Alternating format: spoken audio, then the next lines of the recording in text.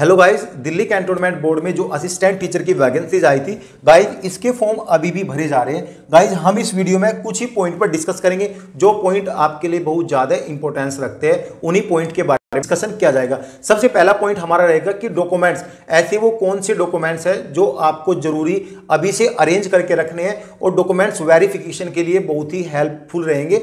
वो सभी डॉक्यूमेंट्स के बारे में डिस्कस करेंगे। लिस्ट यहाँ पे है। एक एक करके सभी को डिस्कस करूँगा। और गाइज़ हमारा जो मेन पॉइंट है आज का, वो है कास्ट सर्टिफिकेट इसमें बहुत बच्चों का डाउट है, इसके बारे में ज़रूर डिस्कस करूँगा। ठीक है? दूसरा पॉइंट है हमारा यहाँ पे ये यहाँ पे एडमिट कार्ड जो हमारा बेसिक जनरल पॉइंट है एडमिट कार्ड कब आएगा एग्ज़ाम डेट कब रहेगी इंटरव्यू यहाँ पे आपका होगा या नहीं होगा, गलत फॉर्म फिल हुआ है तो कैसे ठीक होगा, और गाइस सीटेट रिज़ल्ट 2023 अभी आउट हुआ है, क्या वो कैंडिडेट इसमें अप्लाई कर सकते हैं या नहीं अप्लाई कर सकते हैं, इन सभी पॉइंट के बारे में एक एक करके यहाँ पे सिक्वेंस वाइज डिस्कशन किया जाएगा। सबसे पहला पॉइंट हमारा डॉक्यूमेंट्स क्या क्या ज़रूरी है। गाइज़ यहाँ पे पहले नंबर पे पॉइंट है एजुकेशनल जो भी डॉक्यूमेंट्स है लाइक आपके पास टेंथ का सर्टिफिकेट है ट्वेल्थ का सर्टिफिकेट है ग्रेजुएशन का सर्टिफिकेट है, आप ये सभी डॉक्यूमेंट्स लगा सकते हो, ठीक है? आपने यहाँ पे असिस्टेंट टीचर की एप्लीकेशन फॉर्म भरा है तो उसके लिए जो भी आपके पास डिप्लोमा है डिग्री है एजुकेशन से रिलेटेड यानी इस वैकेंसी से रिलेटेड जो भी डिप्लोमा डिग्री है, वो आपको यहाँ पर रेडी रखना है, ठीक है? थर्ड पॉइंट हमारा documents name address change guys अगर आपके किसी डॉक्यूमेंट्स में नेम गलत है या फिर एड्रेस चेंज है, इधर उधर कुछ भी गड़बड़ है, एक छोटी मिस्टेक आपको यहाँ पे रिजेक्शन लिस्ट में ऐड कर सकती है। गाइज़ आप नियरेस्ट तहसील में जाके अपना एक एफिडेविट बनवा सकते हैं और वहाँ से वकील से आप डिटेल ले सकते हैं कि ये वैकेंसीज है और ऐसे ऐसे डॉक्यूमेंट्स वेरिफिकेशन में इशू हो सकता है। तो हमें क्या स्टेप लेनी चाहिए? वकील आपको सारी डिटेल समझा देगा और कैसे आपको एफिडेविट बनाना है वो वकील आपको बता देगा। आपको यहाँ पे अपने ही डॉक्यूमेंट्स पे कुछ टाइम का स्टे मिल जाएगा। यानी जब आप वो एफिडेविट दिल्ली कैंटोनमेंट बोर्ड को सबमिट करोगे, हो सकता है कि उसी के बिहार पे ही आपका यहाँ पे सिलेक्शन हो जाए। या फिर ऐसा हो सकता है कि आपको लास्ट टाइम यानी कुछ टाइम मिले आपको जो ओरिजिनल डॉक्यूमेंट्स है, उसको सबमिट करने में। यह पॉइंट क्लियर हुआ कास्ट सर्टिफिकेट के बारे में। गाइज़ देखो, यहाँ पे ओबीसी एससी और एसटी ये तीन वो सर्टिफिकेट है जो यहाँ पे सेंट्रल इशू करता है, यानी सेंट्रल का सर्टिफिकेट यहाँ पे रिक्वायर्ड रहता है। अगर आप ई से है पीडब्ल्यूडी से है, पीएस से है। ये तीन सर्टिफिकेट ऐसे हैं जो स्टेट इशू करता है और अगर वो स्टेट इशू करता है तो ये सर्टिफिकेट ऑल ओवर इंडिया के लिए वैलिड है।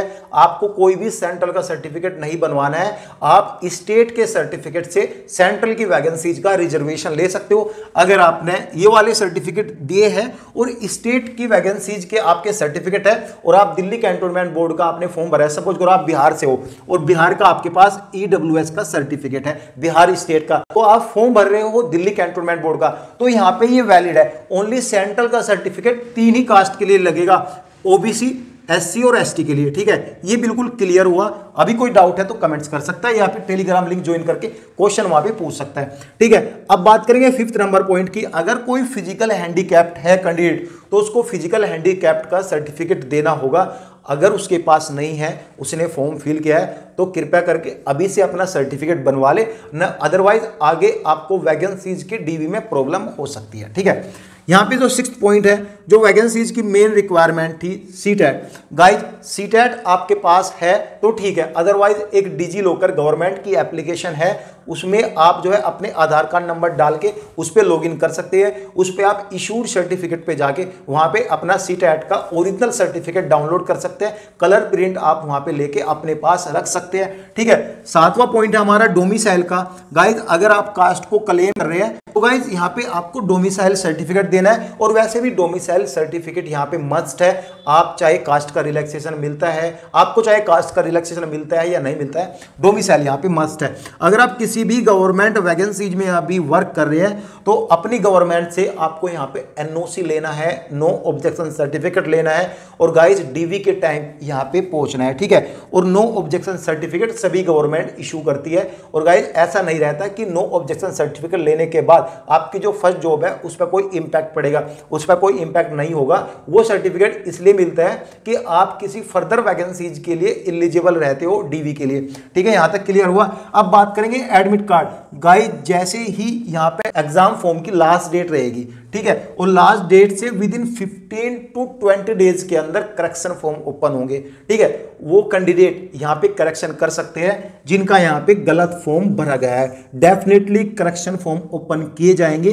तो उन कैंडिडेट को घबराने वाली कोई ज़रूरत नहीं है। जो जिनका फॉर्म यहाँ पे गलत फॉर्म भरा गया है तो वो यहाँ पे टेंशन ना लो।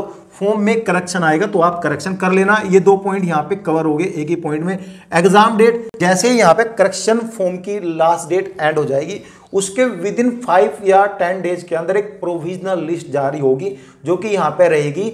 उन कैंडिडेट का नाम रहेगा, जिनके फॉर्म एक्सेप्ट किए गए हैं और जिनको एडमिट कार्ड इशूड होगा। जैसे ही वो लिस्ट आएगी, उसके within twenty to twenty five days में आपको यहाँ पे एडमिट कार्ड इशूड हो जाएगा।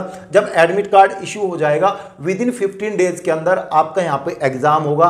एग्ज़ाम होने के बाद आपके यहाँ पे फाइनल मेरिट लिस्ट लग जाएगी कट ऑफ़ भी लग जाएगी। और गाइज़ इन वैकेंसीज के लिए इंटरव्यू नहीं है। इंटरव्यू वैकेंसीज में है ही नहीं। अब बात करेंगे जो हमारा फाइनल पॉइंट है सी वाले कैंडिडेट जो जिनका रिज़ल्ट अभी आउट हुआ है, क्या वो इसमें अप्लाई कर सकते हैं या नहीं कर सकते? गाइज़ बिल्कुल वो अप्लाई कर सकते हैं। गाइज़ उसकी मार्कशीट आई होगी तो उसको आप आप अटैच कर सकते हैं। लेकिन दो क्राइटेरिया यहाँ पे दे रखे हैं। गाइज़ आपकी एज 21 से 30 साल के बीच होनी चाहिए। अगर ये एज क्राइटेरिया मैच करता है तो आप अप्लाई कर सकते हो। ये आपकी फ़र्स्ट है। सेकंड क्राइटेरिया क्या है? आपके पास सी रिज़ल्ट आपके पास होना चाहिए। बिल्कुल सी में आप अभी क्वालिफाइड किए हो तो सेकंड क्राइटेरिया भी आपका मैच करता है। तो आप यहाँ पे अप्लाई कर सकते हो। और गाइज़ अभी भी कोई डाउट रह जाता है तो आप टेलीग्राम लिंक ज्वाइन करके क्वेश्चन वहाँ पे पूछ सकते हो। थैंक यू भाई